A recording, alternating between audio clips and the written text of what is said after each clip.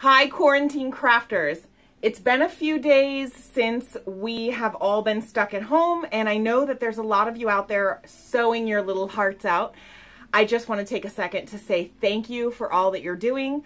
I'm also sewing, and believe me, I have tried every single mask that there is to make out there. Um, not all are one size fits all, and not all tutorials are one size fits all. So I wanted to take a second and do my own tutorial for you that'll be quick and easy. It does use a little bit more fabric than the other tutorials, but I think that it's quicker and easier for you to do. So what you're gonna wanna start out with is a piece of fabric that is eight and a half inches wide by 21 inches long. Or if you are my centimeters lovers out there, that would be 54 centimeters long by, oh gosh, 21 centimeters wide, okay? So you're gonna take your piece and the first thing you're gonna do is fold it over twice at the top to make a little seamless edge, okay? Now that's gonna be the top of your pocket. I've read a lot of things. A lot of hospitals need three or four layers sorry about my finger, along with a pocket that you could add filtration into. So that's what we're making today. We're making a three layer with a pocket so you can slide that fourth layer in if you want, okay?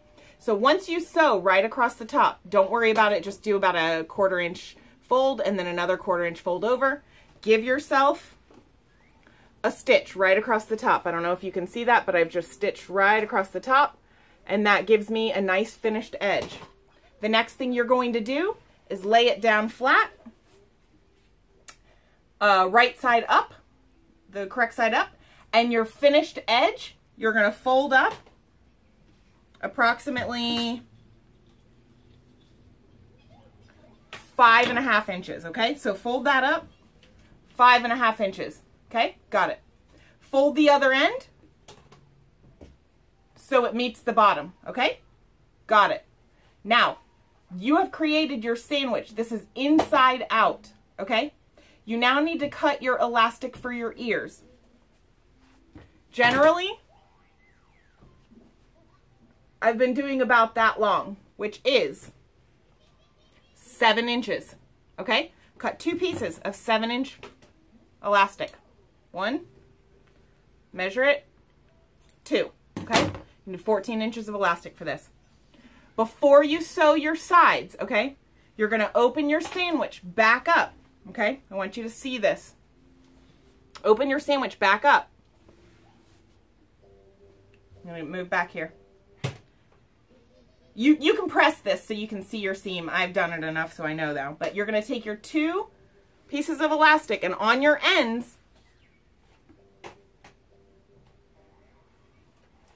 you're putting them in that center section in a U shape, okay? Let me just bring this over so you can see this. Oh, sorry. Work with me here. Work with me. So what you're doing is you're putting this here and here, here and here. Okay, this is not a perfect science. You'll pin it in a second. Just give yourself a second. Flip this back up and over, okay? You're going to fix it. Don't worry. Flip this back down and over to meet your bottom, okay? And then what you're going to want to do is nicely with your pin, come in between this sandwich here. I wish I could show you better. And pin it. You see here where I've got it? Pin this together, okay? So pin this. I'm going to pin it. I'm going to show you the finished one. So you're pinning that, okay? So this is what it's going to look like. Oh, shoot. I don't have a finished pin one. Stupid.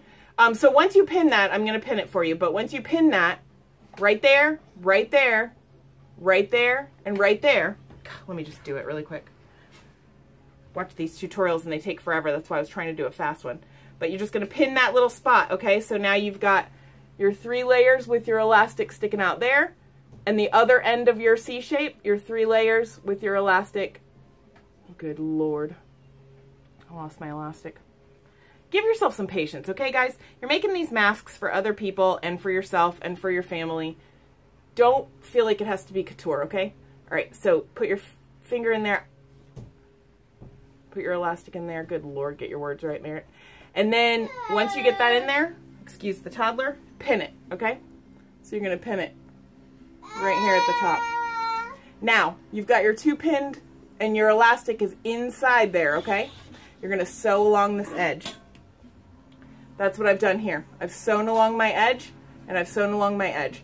So you've created this. It doesn't look like anything, right? Now, you're going to turn it inside out like you would a pillowcase. You're going to turn this inside out all the way. And like magic, you get this. Okay, so you're going to turn it inside out and um, just like a pillowcase, reach in there and get all your corners nice and flat, okay? So now you've got a big rectangle with your elastic on the edge, okay?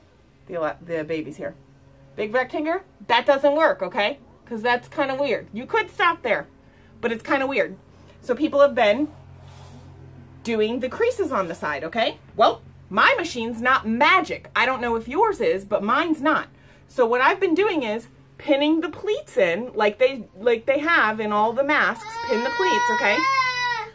But instead of going across like this and causing a huge jumbled up mess, do you see that crap? Yeah, my machine kept doing that.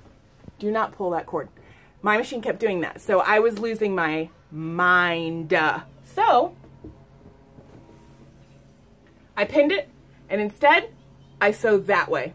Sew that way, guys. Sew long ways, about an inch down on your folds, okay? It still allows the mask to open up. It still allows you to get in there and put your pocket, your filter in there. But now you don't have to sew this way and jam your whole machine up. Your, mach your elastic's already sandwiched in there nicely because you created that inside pocket, right? So now if you just sew those darts, you've got your finished mask. So you see what I'm doing? You see what I said? I, I pinned it, right? Like I pinned it, and then instead of sewing across, I sewed up on my pleats. So see, I'm going to do this last one here. Fold it in, and instead of sewing across, I'm sewing down. It's so much better. And then you have your finished mask that you still open. It still works good. Put it on. Good Lord. And then stretch it out. Put it on and then stretch it out because then that's easier. It's not, it's kind of weird here. But guys, we're saving lives over here. Yay!